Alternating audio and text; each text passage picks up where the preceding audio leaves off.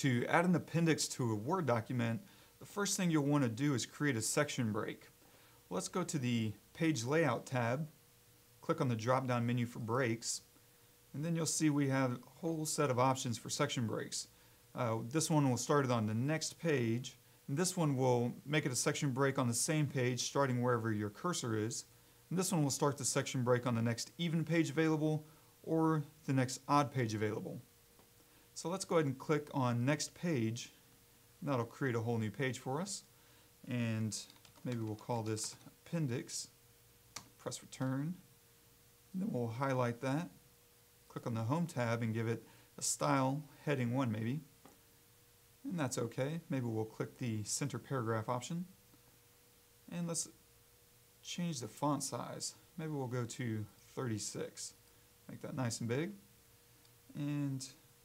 And press return one more time here. And we'll call this Appendix A. And I'll hold the Shift and press return. And maybe we'll type some information here. Okay. Then press return again, and maybe Appendix B. Press Shift Return again. More information here. All right.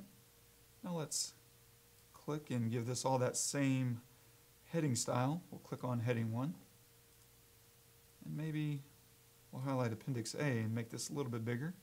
We'll click on the Grow Font button, make that just a little bigger. Do the same thing for Appendix B. All right. Now maybe for a little extra style, we'll go to the Insert tab, click on Shapes, then click on Lines. That'll give us this crosshairs here. If we click and drag and press the Shift key while doing so, that'll give us a nice even line. Okay. Now we have a little style.